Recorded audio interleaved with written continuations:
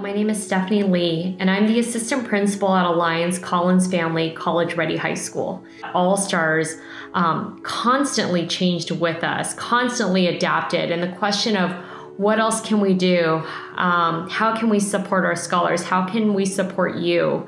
Um, here's some ideas that we have. What are your thoughts? I think After School All Stars is important because it's one gives I for me it gave me like a motivation to work better in school.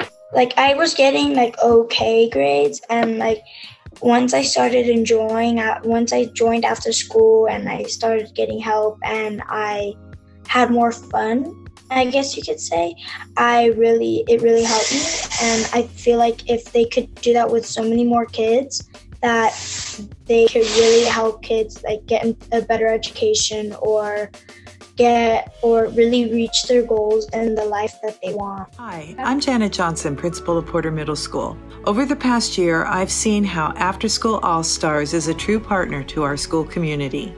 In addition to providing a great after school program, they're ready and willing to help, and no task is too great. For example, they work side by side with school staff to return all the student belongings left behind after the sudden school closure. And All Stars also helped us get out all the New Year's materials to students at every distribution day in the blazing summer heat. The All Stars program is a positive force, and we are lucky to have them at Porter Middle School. Hello. My name is Itani Mendoza. I am here to give you my testimonial as an alumni from the Quest.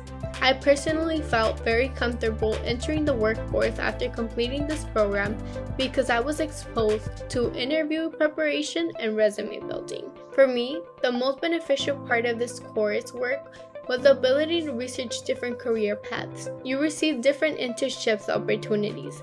I was offered an internship opportunity at the bank. I really encourage all of you to join. I'd say anyone who joined the after school would be lucky. Not gonna lie. Because they'd actually get their homework on time if they get it late.